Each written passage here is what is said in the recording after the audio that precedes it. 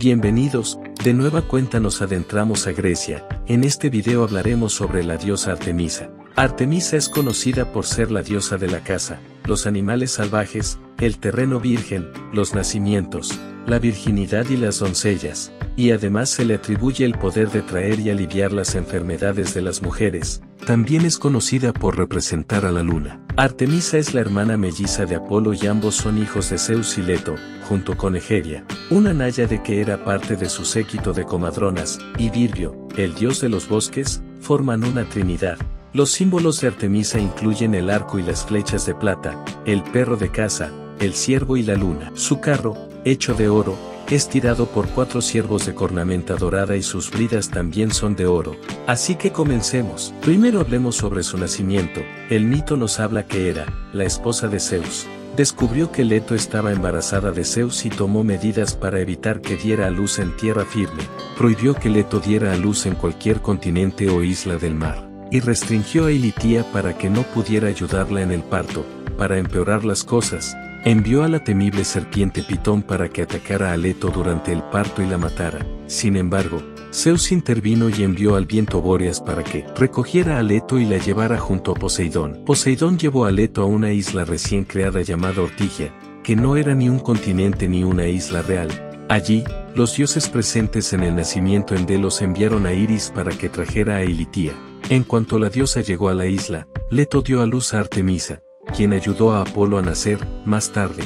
La isla de Ortigia fue llamada Delos y Zeus la aseguró al fondo del océano, recién nacidos. Apolo y Artemisa que ya tenían grandes habilidades de cazadores. Mataron a la pitón que se disponía a atacarlos. Durante su infancia Artemisa buscaba consuelo en los brazos de Zeus después de haber sido azotada por Hera. En una ocasión, Artemisa le pidió a Zeus que le concediera nueve deseos. Ella quería permanecer siempre virgen, Tener muchos epítetos que la diferencien de su hermano Apolo, un arco y flechas para cazar, una túnica hasta las rodillas para facilitar la caza, 60 oceánides para formar su coro, 20 amníciades para cuidar de sus canes y su arco, que ninguna ciudad fuese dedicada a ella, gobernar sobre las montañas y tener el poder de ayudar a las mujeres en el parto. Zeus decidió ayudar a Artemisa enviándola a obtener su arco y flechas en la isla de Lipara, donde trabajaban Hefestos y los cíclopes, a pesar de que las ninfas que la acompañaban tenían miedo, Artemisa se acercó valientemente a los herreros y les pidió sus armas. Luego, Artemisa visitó a Pan en Menalia, quien le regaló siete perras y seis perros. Después de eso, capturó seis ciervos de cornamenta plateada para tirar de su carro y comenzó a practicar con su arco, disparando primero a los árboles y después a las bestias salvajes,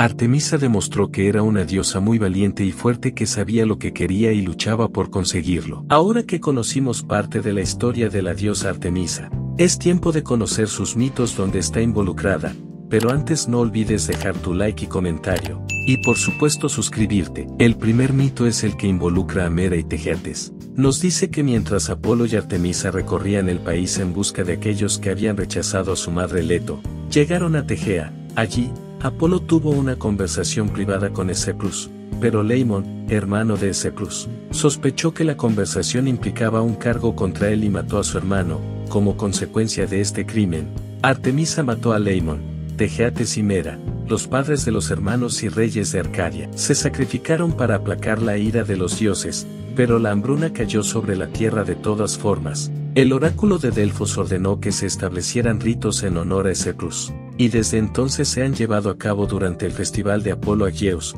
como parte del ritual, una sacerdotisa de Artemisa persigue a un hombre, imitando la búsqueda de Leimon por parte de Artemisa. Ahora pasemos con otro de los mitos donde Artemisa es la protagonista. Es acerca del mito de Acteón y Cipretes, nos dice que, en una ocasión, Artemisa se encontraba bañándose en el bosque en compañía de su coro de ninfas, cuando el príncipe y cazador tebano Acteón pasó por allí y accidentalmente la vio desnuda. Las ninfas se dieron cuenta y corrieron a ocultar a Artemisa, pero ella estaba tan molesta por haber sido espiada que salpicó agua al rostro de Acteón, transformándolo en un ciervo y provocando que sus propios sabuesos lo atacaran. Sin saberlo, los sabuesos destrozaron a su propio dueño. Desafortunadamente, Acteón no fue el único que vio a la diosa mientras se bañaba. Cipretes, un pastor cretense, intentó violar a Artemisa, pero la diosa lo transformó en una muchacha como castigo. El siguiente es el mito de Orión, después de abandonar a Eos. Orión se convirtió en un compañero de casa de Artemisa, sin embargo,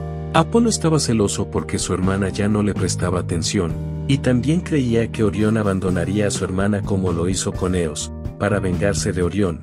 Apolo tramó un plan para que muriera, le explicó a Gea, la diosa de la tierra, la vanidad del cazador y ésta envió un escorpión para que lo atacara. Orión trató de escapar nadando hacia la isla de Delos, donde esperaba que Eos lo protegiera. Apolo desafió entonces a Artemisa a disparar sus flechas contra lo que se alejaba nadando, acusando a Orión de haber seducido a Opis, una de las doncellas de Artemisa.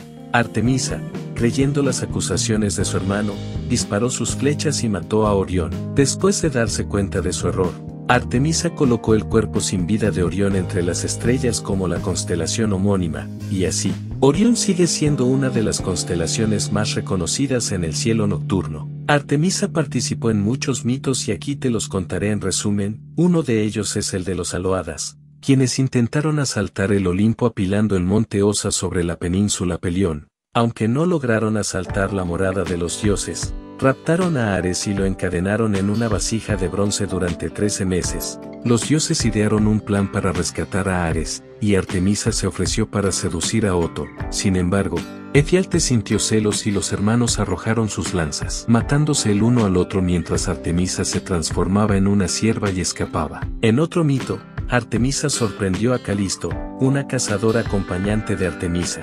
Estaba bañándose en un río y descubrió que estaba embarazada, Calisto confesó que era culpa de Zeus, quien la había seducido transformándose en la diosa, enfadada por la respuesta. Artemisa transformó a Calisto en una osa y la expulsó de su cortejo, en el mito de Alfeo y Aretusa. Alfeo, un dios del río, estaba enamorado de Artemisa y decidió raptarla, sin embargo, sospechando sus motivos. Artemisa cubrió su rostro con barro para que no la reconociera y se transformó en una fuente para socorrer a Aretusa, una ninfa de Artemisa. Otros mitos en los que Artemisa participa incluyen la historia de Búfago, un semidios que intentó violarla y fue asesinado por la diosa, y la historia del jabalí de Calidón, en la que Artemisa soltó al jabalí más grande y feroz imaginable en los alrededores de Calidón, en respuesta al olvido del rey Enio de incluirla en sus ofrendas anuales. Además, Artemisa cuidó y amamantó a Atalanta, la hija abandonada de Esqueneo, y fue la única mujer que participó en la caza del jabalí de Calidón. Finalmente, en el mito de Aura y Yaco, la diosa de las brisas, prima de Artemisa, se entregó a Dionisio después de que Afrodita interviniera, Aura enloqueció y tuvo gemelos. Comiéndose a uno de ellos, Artemisa salvó al otro y Aura se lanzó al río Sangarios,